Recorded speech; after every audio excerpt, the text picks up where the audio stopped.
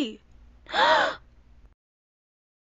my god, they're gonna kill him! Come on, Fiver, let's save him.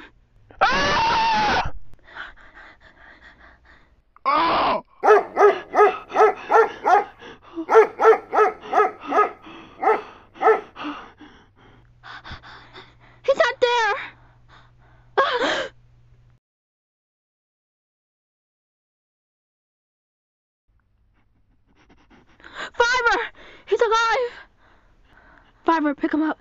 Be careful. Let's take him back to the Brahma where it's safe. It's alright, Fiver. What's wrong with you? Do you want this rabbit to die? Because instead of running around screaming like a dummy, you could have been helping. Oh, Embleer Frith, you fool! If it weren't for Fiver, he would be dead. I bet you this, Hazel. If it weren't for Fiver's visions, this would never happen. Wait, Fiver, come back! You and I are gonna have a serious discussion after this. Fiver! Fiver Wade!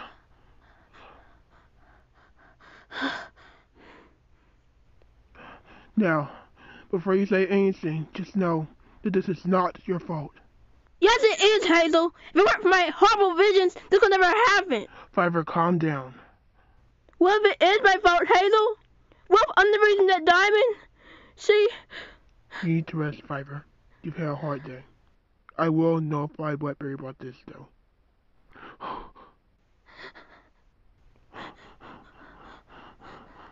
Hey, Hazel, do you have to get Blackberry into this? I don't want him to get more angry at me. Fiver, I will not tolerate any other rabbits bothering you again.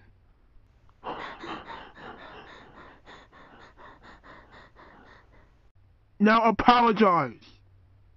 Yeah, because you really hurt my feelings, Blackberry. I'm sorry, Fiver, for being mean. I'm just stressed out, is all. And don't ever talk to her that way again. I won't, Hazel. Come on, Fiver. Let's go back to the Warren. We need to go make sure that Lucky's okay.